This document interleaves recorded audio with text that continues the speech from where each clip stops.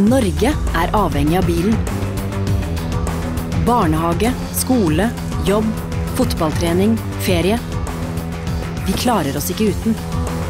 Derfor må vi bygge flere og bedre veier og vedlikeholde veiene vi allerede har. Gode veier er trygge veier. Nye veier gir mindre kø. Hvis du er avhengig av bilen, velger du Fremskrittspartiet 11. september.